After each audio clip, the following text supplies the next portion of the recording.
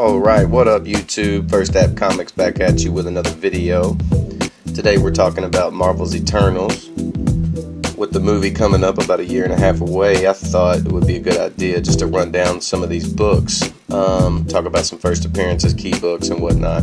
They only have around 52 published comic books um, in the world right now. So uh, with that in mind, uh, I thought it would be a good idea just to kind of run through some of the more key ones. But we're going to find basically any of these that you see out for cheaper prices than face value or anything like that uh, are going to be worth buying.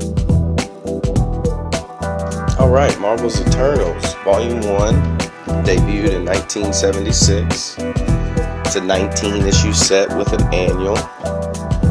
Uh, basically, all these are keys basically in the uh, mythos of uh, the Eternals. So you're probably you see any of these out for cheap, man. You might as well. Um, issue one is the first app of Ikaris and the Eternals.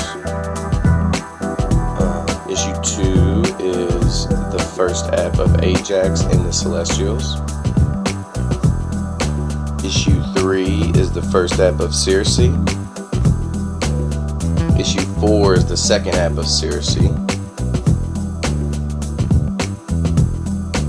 Issue 11 is the first app of Kingo Sunan.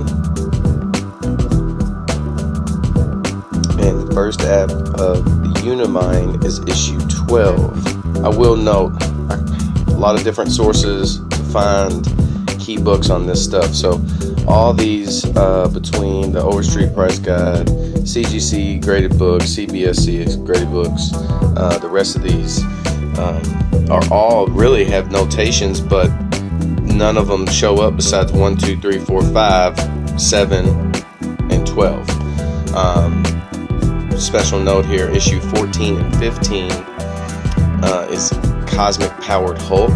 But then I've also found other sources that say it's a robot Hulk. I've never read these comics, so I don't know for sure. Uh, it's just a fun notation. You see issues 14 or 15 out. Uh, that's the appearances there. Uh, issue 19 is the last issue. The only two issues in this volume that I can't find significant things for is issue 10 and issue 19. But again, 19 is the last issue of the first volume, probably ended in 1978. So, you know, that's really old.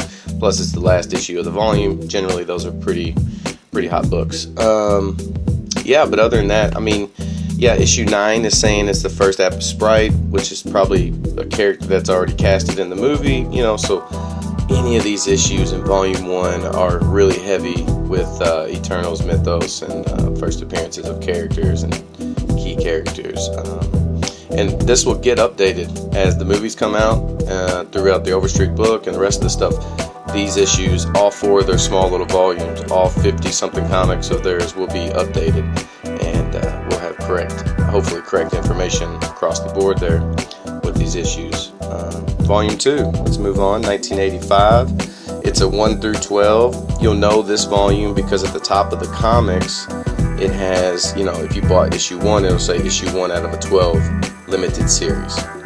Um, no annual with this one that I could find. Uh, basically, all these have notations as well, but not on your graded books. Um, but again, I would pick these up, you know, for a couple bucks. You, you can't beat it. And as the Eternals get three movies, they're going to be able to flesh out all 50 something comics they have here, and plus add a lot more to it. And we know Marvel will pump out comics in the time the movies are going on as well and make them more popular and relevant. Uh, 1991, there was a Eternals uh, one shot called the Herod Factor. Probably pronouncing that wrong, but that's one of them there. Issue t- issue uh, in sorry in the year 2000, the New Eternals issue one came out, uh, and then bridging that gap, we got 2006 volume three, and that's Eternals issues one through seven. Gorgeous cover arts, you know Neil Gaiman, John Romita Jr. Uh, there's variant covers for these. These are awesome. I'm just showing you a couple pictures of these. Uh, moving on to volume four, which is the com volume, um, 2008. It's a nine issue set with one annual. I feel like this is probably going to be the most relevant um, as in storytelling because they have uh, the Manifest Destiny X Men crossover stories. I guess it's issues six through nine, and maybe part of the annual. Uh, but yeah, I would recommend any of these, picking up any of these. Uh, actually, before the coronavirus thing hit and shutdowns happened, I picked up uh, a, a, few of these at my half price bookstore uh, for a dollar a piece. I probably got like four or five different issues from a couple different volumes. Um, so they're still out there and about. People are really not thinking about it until they're going to start getting trailers. So when we start getting trailers, that's when people start getting excited about it and start wanting to know about it. So, you know the game. These comics are awesome. All these cover arts are amazing. I've got a special notation here for a special book. It's called uh, Strange Tales, issue 109. It's the first Circle, first appearance of Circle who later becomes Sersi. So I don't think it's like a character that they debuted and then she morphs into Sersi. I think it's they debuted this character Circle and then years later they said let's just re- recreate this character as one of these eternal slash god people in our universe. So that's it. That's all I got for you, Eternals. Any of these comics you see out, I would say grab them. Hope you like this video. You guys have a great, safe day. Thanks.